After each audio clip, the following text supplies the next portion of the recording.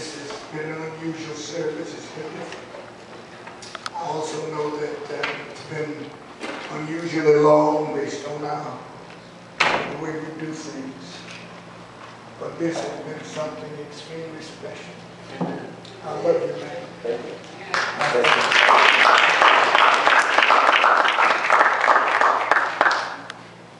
you. Because of the length of time, we have to do something a little different. Had announced that we were going to uh, do our reconciliation time today. We're going to have the meeting obviously. Let me just, first of all, uh, open the doors of this church. This is serenity. While we are unapologetic, we are unashamedly African American, we also unapologetic. Jesus is our Lord Savior. We acknowledge Him as such every day of our lives. Everybody needs to be part of the fellowship. We believe in the Christian faith.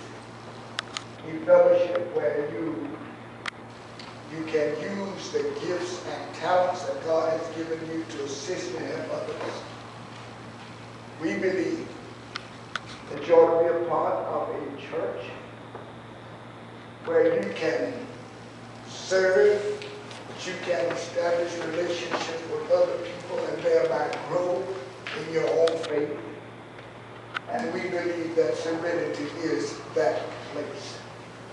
I'm going to ask Jeremy if he'll come now, sing. We're going to stand to our feet. And if it's your decision to give your life first to Jesus Savior. Secondly, we open the doors of this fellowship, invite you to join us, invite you